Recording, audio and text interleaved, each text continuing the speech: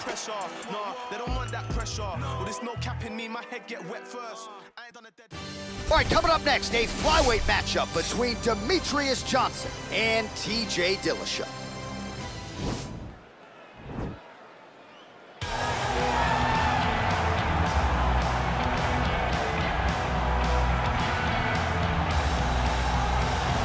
All right, so here he is, Tyler Jeffrey Dillashaw, as DC likes to call him, the former two-time UFC bantamweight champion.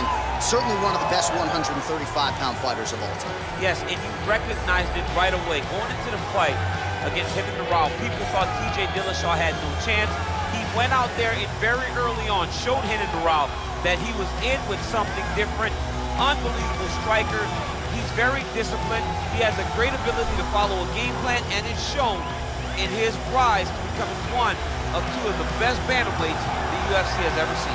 And if you won't say it, I will. Got a full ride to Cal State Fullerton, three-time NCAA qualifier. Hasn't necessarily been a wrestler first in mixed martial arts, but a very good submission game and in terms of the striking, the footwork, and everything else, it's truly sight. he hasn't had to. Right. He hasn't had to. Johnny's been able to go out there and beat guys with striking when you said he's a fantastic wrestler. He's a fighter's fighter, and he has a lot to prove as he gets back in the octagon here tonight. All right, so here he is, one of the better offensive takedown guys we have in the UFC, DC. And if anyone is well equipped to speak to this, it is you. The opponent knows what's coming. At least to this point in the UFC, no one's been able to stop. He just has to keep him away because the moment this guy gets close enough to either grab a leg or make body contact, Right. now you're in trouble.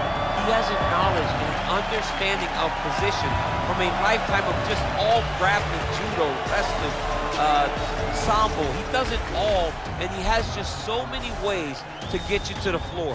This guy once told me that if you can get your leg, he's going to finish. Right. Because he's going to give you so many things to think about, you will not be able to process and keep up with him, and eventually you're on the mat. It's unbelievable to watch him apply that knowledge to the mixed martial arts fights. And as the wrestlers say, this is not a guy you want anywhere near your bracket. no, you don't want him in the bracket.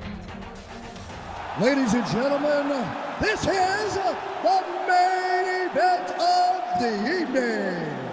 When the action begins, our referee in charge of the Octagon, Yves Lavigne. And now, this is the moment UFC fans around the world have been waiting for. Live from the MGM Grand Garden Arena in Las Vegas. It's time!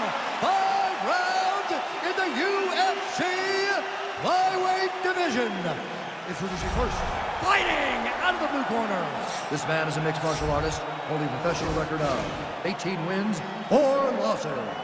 He stands 5 feet 6 inches tall, weighing in at 125 pounds. Fighting out of Denver, Colorado, presenting the former UFC featherweight champion, TJ Dillashaw. And now introducing his opponent, fighting out of the red corner.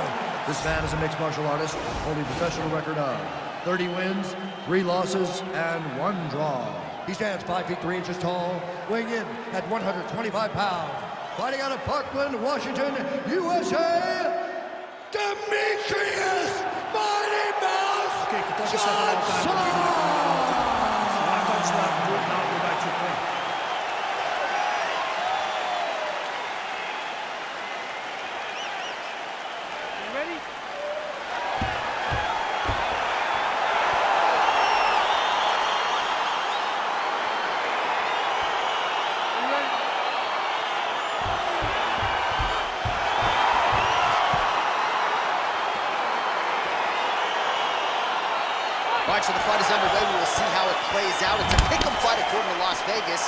Really hard to think of a weakness that we are seeing on film from either guys in their UFC careers. I feel like both of these guys are the top of the food chain. They're the best of the best that we can put The hip toss as he takes him down. Now we'll see what he can do with it. right into side control. These are some excellent ground and pound strikes here, DC. There's an efficiency with which he operates in these situations. He knows exactly when to throw, exactly when to hold, and it's allowing him to really control the grappling aspect of the fight. There's a song there, right? Know when to hold him, know, Know when to fold him, yep, There you go. absolutely. Johnson's got him in a crucifix, gonna work from the top now. Well, there are a few things more fun to watch in mixed martial arts than these type of transitions and scrambles on the ground. High-level grappling can really be entertaining. Oh, he's got him in a crucifix now, DC. We've seen you go to this a couple times, no? This is one of my favorite techniques. I got Volkan Oezdemir here, and I just landed punch after punch after punch. They didn't have to be hard, but if you can land 30, 40 strikes in a row, the referee will have no choice but to finish the fight. Pretty good work with the ground and pound here by Johnson. He's putting him in exactly the positions he needs to be in right now. He's able to relax here. And he understands, being a veteran of so many fights, that as long as he's on top, he's winning. He feels like he's winning here. Oh, nice job using his strength there to posture up. We'll see what he can do now. He's gonna start looking to land big shots from the top. Close guard.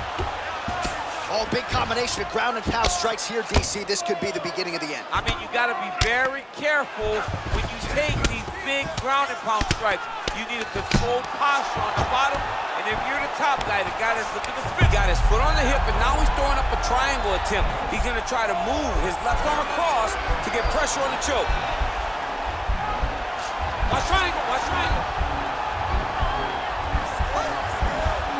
There he is, he's moving to the finishing position. Now watch, he goes parallel right next to his opponent. When it's time to finish, he has to go flat, chest to the mat. There it is, chest to the And he's out.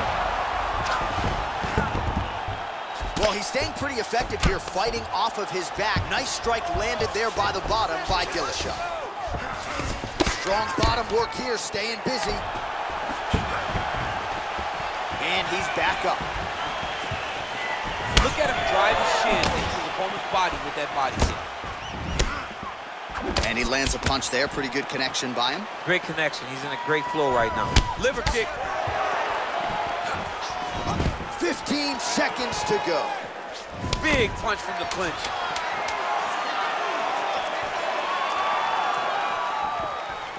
The horn sounds for the end of round one. Good round, okay? You won that round by controlling the position of the ground. And more of that. If you're on top, I need you to keep All right, let's take a look back at some of the replays from that last round. Unbelievable to see these high-level competitors get in each other's face, tuck their chin, bite down on the mouth guard, and just let it all hang out over the course of five minutes.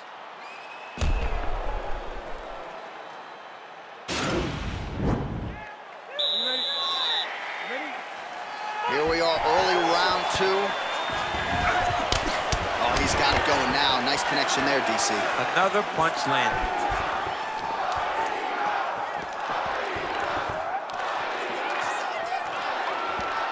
Kick to the body by Dillashaw. Pretty good right hand. Oh, caught him flush with the head kick there, DC. Beautiful setup to get his leg up there quickly before his opponent could react. Stuffs the takedown there. How good is his takedown defense? And both guys really throwing with authority. Wow, that right punch has been the money weapon for him tonight, and he landed it again there. If his opponent does not change something, he will continue to throw the strike until he makes it stop throwing. Continues to work out of that tie clinch. And that one was heavy. Oh, another big knee. He's mixing up his target. He's throwing kicks, he's throwing punches. Well, no surprise, he goes for the takedown there, unable to get the fight to the canvas. This is a testament to his opponent. His ability to see the shots coming, defend them, and make the fight happen where he wants it to. Well, his corner was pretty urgent after round one. A little bit lackluster there in that opening round. He has certainly picked up the pace here, and as a result, he has taken control of this second round.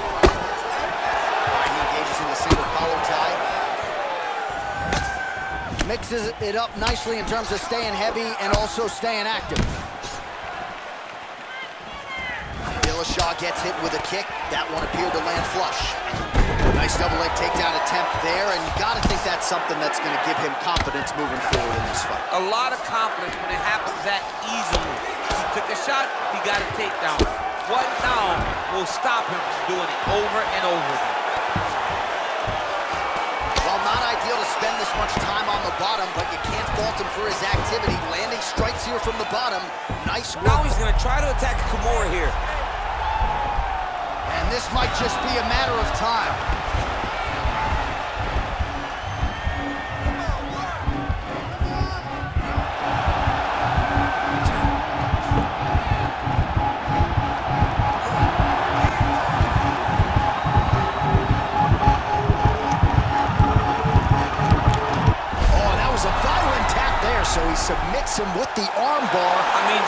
Steps ahead of the competition. Where you're playing checkers, he's playing chess in the ground fighting. And it showed tonight in this big submission victory.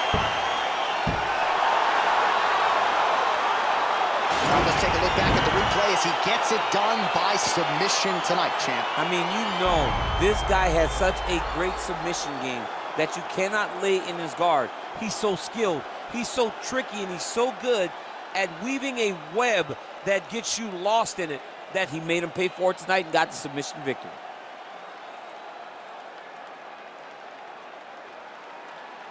So there he is, your winner by submission. That is a finish they will likely be talking about for some time. Big win, major statement made to the rest of this division. Ladies and gentlemen, referee Yves Lavigne has called a stop to this contest at 4 minutes, 11 seconds of round number two. Declaring the winner by tap out,